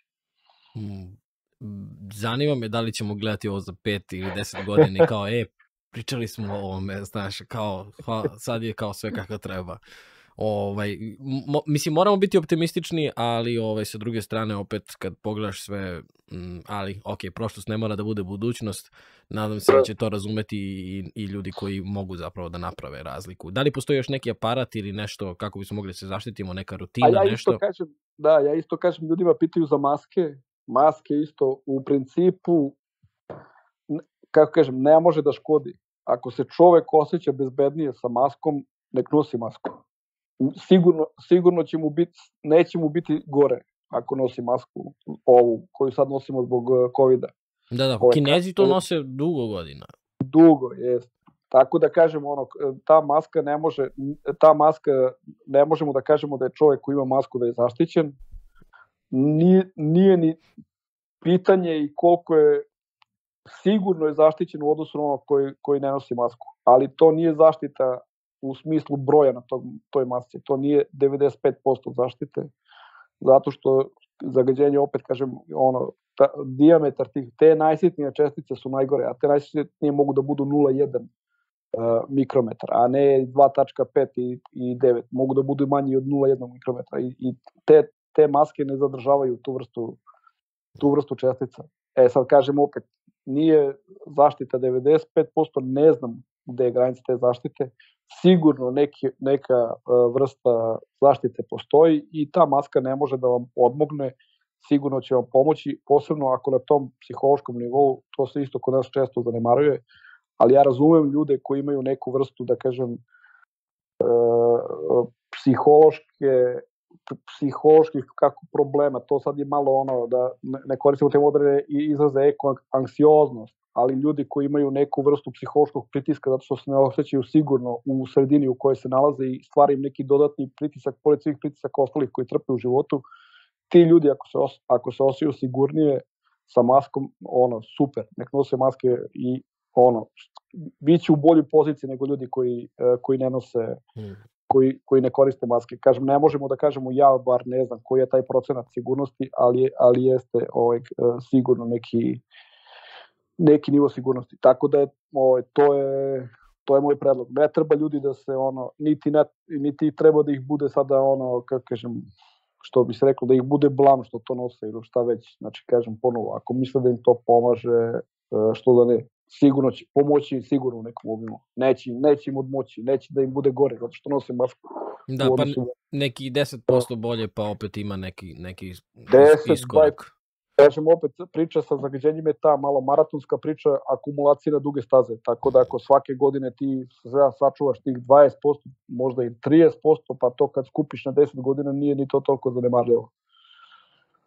Hvala ti puno na, na ovom razgovoru. Bilo je jako uh, neke, neke informacije, mislim, pričali smo uh, kao da je sve ovo normalno, samo želim opet da naglasim da je ovo sve jako nenormalno i da ovo nije nešto zašto smo mi stvoreni i prosto naše telo, sad si spomenuo i neke psihološke faktore koji definitivno utiču na, na, na to kako se, kako se ponašamo i kako živimo. Uh, gradovi su prevaziđeni u smislu da grad kao ideja je prosto propao, ljudi su više otuđeni nego na selima, ljudi žive teže nego na selima, ljudi su bolesniji nego na selima, prosto izgleda da, da ćemo u nekoj budućnosti videti sve manje i manje te neke lokalne zajednice koje, su, koje se zapravo drže zajedno, koje će iskoreniti, ja se nadam, tu otuđenost. Evo, ja imam 27 godina, moja želja nije da živim u gradu, moja želja je da imam kuću na selu i da prosto znam šta jedem, da znam ljude koji su oko mene, da mogu da se oslonim na njih i ovaj, sve ovo o čemu smo pričali je verovatno taj neki prvi korak ka tome da se, da se osvestimo i da pronovo prodišemo i hvala ti, hvala ti što si podelio sve ovo tvoj, tvoj zadatak, tvoja obaveza nije zapravo da deliš sve ove informacije, ja verujem da ti nisi jedina osoba koja ima sve ove informacije, međutim... Nisam. Ima no. puno da, drugih. Ima nekih kolega koji isto komuniciraju ovaj problem često i treba da nas bude što više. Mm. Ja jesam osoba, ja to, često to pričam, skoro, oče, proširio sam malo priču, sad, sad ću da vam objasnim kako. Uh, ja sam čovek koji radi na državnom univerzitetu, primam platu od poreza koji se skuplja od svih građana, ja, stu, država me, da kažem, školovala, dala mi da ipak na neki način, nije potpuno ono, besplatno, ali ajde, be, neku vrstu besplatnog obrazovanja, da steknem usko, stručno, specijalističko znanje koje može potencijalno se iskoristi da, da nam svima bude bolje. I ja lično osjećam potrebu da to znanje ne delim samo sa studentima koji su direktno u kontaktu sa mnom, nego da probam da podelim sa širom zajednicom ukoliko šira zajednica ovaj, ima potrebu za tim znanjem. Znači da jednostavno to što je u mene uloženo kao profesionalca da ja na neki način vratim da bi svima bilo malo bolje. I iz tog razloga ja osjećam potrebu i da, da kažem, učestvujem u javnoj debati, da držim javno predavanja i da pomažem ljudima i ako im trebaju podatke, da im pomognem da pronađu podatke, da razumeju podatke, da obrade podatke i tako dalje. Znači spreman sam da uložim jedan deo svog vremena da bi imao taj neki uh, respons na to što je cela zajednica, a ne samo to moje profesionalno okruženje. Naravno, kad se bavim profesionalnim stvarima, to je sve daleko detaljnije na, na drugom nivou i tako dalje, naučne istraživanja kad se radi i, i šta već. Ali ima još jedna stvar što, što učestvujem u svemu ome, to je taj, sad ovaj moj dodatak na to što je to moje vraćanje uh, ovoj zajednici, a to je što mene isto živcira i ne mogu da verujem da smo najmusa, da treba, da treba budemo najmusaviji u ovom našem uh, na ovom našem evropskom kontinentu odnosu na sve i da nemamo snage da, da se ono upristojimo, da se umijemo, da budemo čisti i to mi ide na živce i zbog toga hoću da doprinesem tome što je taj iskorak da se trznemo svi da kažemo e nećemo više budemo musavi, ajde da se umijemo, da se očešljamo, da se ošišamo, da izgledamo cool i da idemo dalje da rešamo neke druge probleme, ima puno problema koji treba da se reše, tako da za početak je ovo umivanje ovaj, je okej. Okay kad počne, kad sad mi pada na pamet, kad krene dan, prvo se umiješ i onda nastaviš. Isto razmišljam kao buđenje. Kao pro, potrebno je da se probudimo i da se razbudimo. Isto to, fantastičan primer i mislim da je ovo jedan, da je ovo najbolji način da, da završimo razgovor. Stvarno hvala ti puno na, na, na svemu. I hvala svima vama koji ste slušali i gledali podcast. Ćao.